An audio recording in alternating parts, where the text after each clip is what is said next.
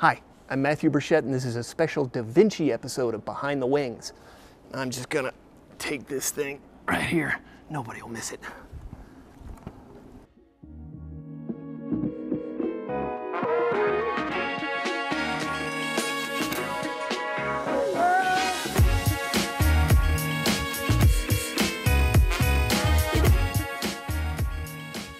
Welcome back to another exciting episode of Behind the Wings.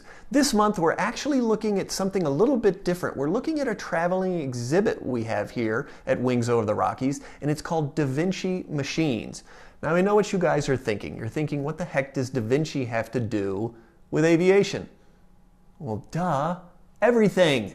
And we're going to talk to Mark Rogers. He's actually the curator of this exhibit, and he's going to walk us through some of the things that Da Vinci designed that we're still using today. It's really going to be cool. Let's go find Mark right now.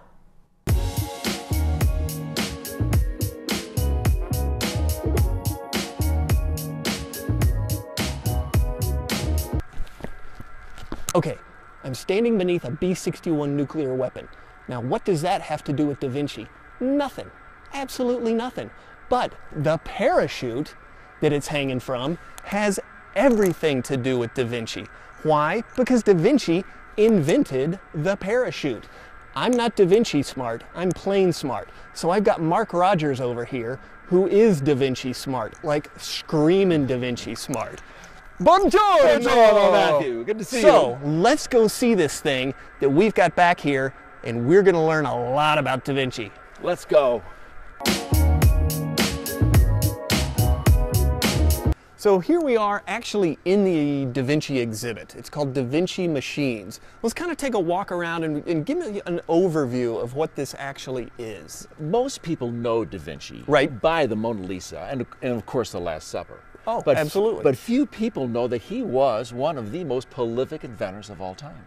He had over 44, think about this a minute, 44,000 drawings, of which only 14,000 survived. Wow. They guesstimate and this is a small guesstimate, that there are over 2,500 of his designs, inventions, and theories that we use every day in our modern day life. That's nuts. You know what? Let's take a look at some of these things that I- am sure most people don't even know were invented by Da Vinci. Absolutely. Let's take a look. Okay, I feel like I'm under a long umbrella. what is this thing? Well, this is Da Vinci's probably his most famous aerodynamic design. He, he called it his air screw. How he envisioned this operating is the men would literally stand on this platform, hold on to these bars, now watch out a second, and literally run around in a circle oh in an gosh. attempt to air screw it to the air like our present day helicopter. But when this got up in the air, Da Vinci also figured out that he may not go smoothly every time, and he may need a plan B. And you know what? He came up with a plan B. I think I know what a plan B is. Let's go see. Absolutely. All right, so I'm pretty sure this is plan B, yeah? This is it. This is it. this was his plan B. That when he got up into the air, things may not go as well as we, as we figured, and then we, we may have to return somebody safely to Earth. All right, so now here's something wild. I've heard rumors that in 2008, a Swedish guy actually built this parachute. Absolutely, he did. And utilized it. He was an inventor. He, he jumped off, can you imagine? He jumped off a 2,000 foot platform using this exact design of Leonardo da Vinci, and he returned safely to Earth. That is some guts right there. That's a lot of faith in Leonardo da Vinci. No kidding. I really have no idea how he came up with this idea. What do you think? This year he designed, we call the present day inclinometer. He designed this to be in a glass bell for two reasons. First of all, it wouldn't be affected by wind currents and right. the glider pilot could see it in flight. He designed this to be on the glider in flight with the pilot. So at any time, the glider pilot could look over, determine if his wings were or were not parallel, and know to bring his wings back parallel to the horizon, just like our airplanes today. Man, thank you so much for coming in here and bringing this amazing exhibit. Well, it's so incredible. We're so honored to be here, but I want to invite everyone to come by this interactive exhibit. Come by and interact with the exhibition and, uh, and the models and, and, and, and to see these incredible planes that all uh, happened because of the architect of flight, Leonardo da Vinci. Nice. Well, thank you, Mark, so much. Um, you know what? Let's go discover the Da Vinci in us out in the museum because I know we're going to find his hand on a lot of stuff that we have here. Absolutely. Thank you for having me. Oh, you bet.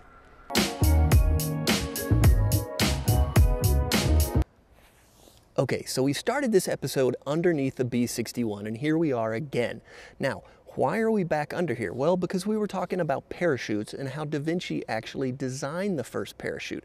But this thing is riddled with holes but they're supposed to be there, which is kind of counterintuitive when you think about it. You don't really want your parachute to have holes in it. Well, in this case, you do. The high speed of the drop would literally rip the parachute apart. But in this case, this guy is made of some really thick nylon material and it's got little tiny holes all the way around it that lets just a little bit of air through there and enough to keep it from just ripping itself apart.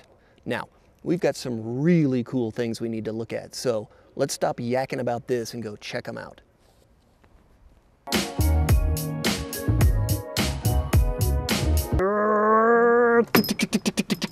Oh, sorry. Oh, come on. You know you'd be doing it too. So here we are in the EB-57 cockpit. This is a 1950s era aircraft, but it's got two instruments in it that harken back to Da Vinci 500 years ago.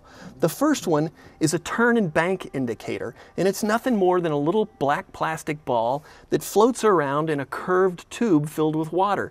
As long as you keep that little ball between these two lines, your wings are level. Now, let's fast forward a bit. We've got an attitude indicator, which is really nothing more than a turn and bank indicator, except it also tells you if your nose is going up and down. This is one of the main flight instruments that the guys would use when they were flying this aircraft to make sure they were flying straight and level. And guess what? It's really the same thing that the Da Vinci invented 500 years ago. How cool is that? It's pretty cool. I'm out.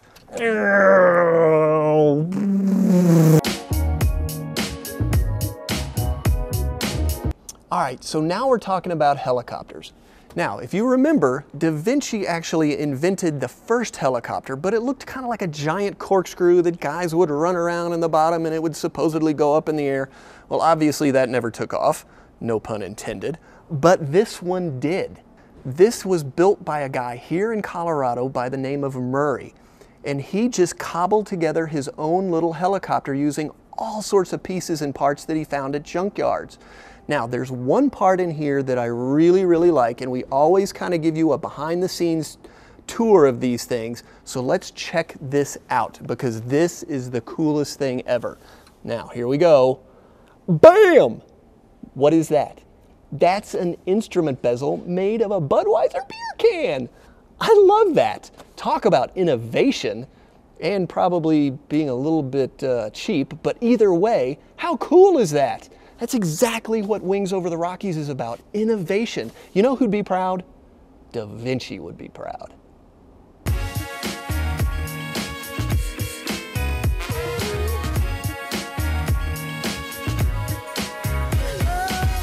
So there you go, the Italian Renaissance in like less than 10 minutes through the eyes of Da Vinci.